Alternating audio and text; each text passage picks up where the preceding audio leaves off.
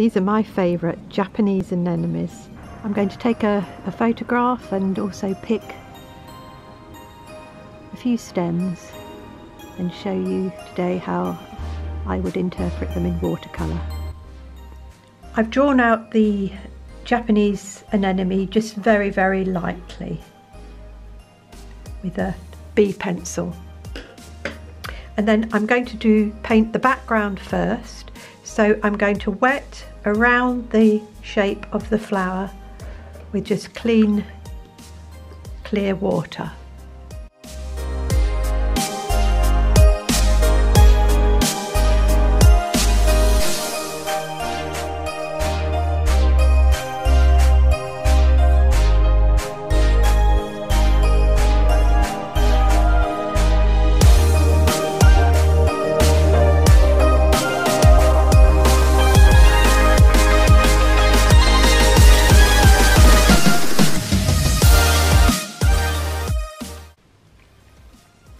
I'm going to mix three pools of colour, my transparent yellow, quinacridone magenta, and finally ultramarine blue. I'm going to start with the yellow and just put a variegated background in.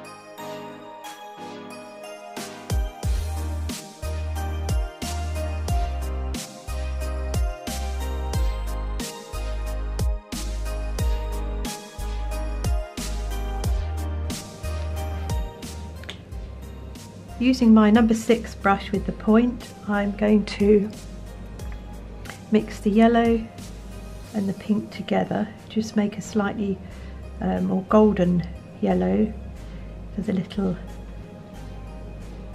anthers in the centre.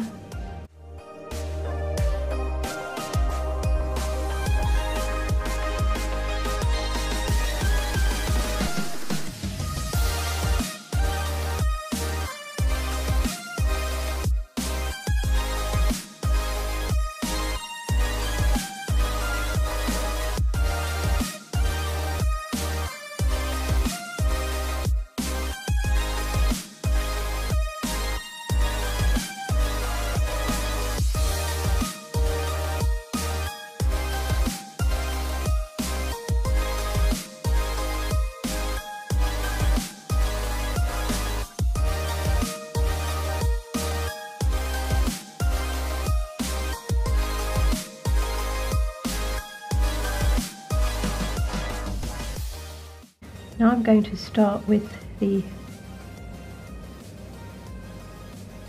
cooler pink.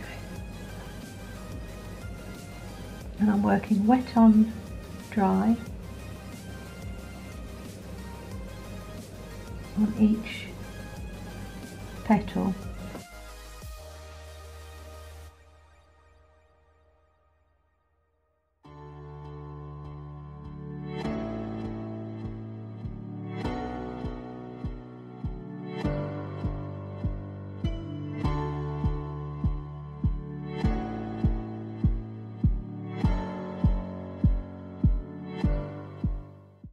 and then finally to the quinacridone magenta I'm going to add a little bit of ultramarine to make a slightly more purpley cooler cooler shade. So all the colours are blending wet on wet on wet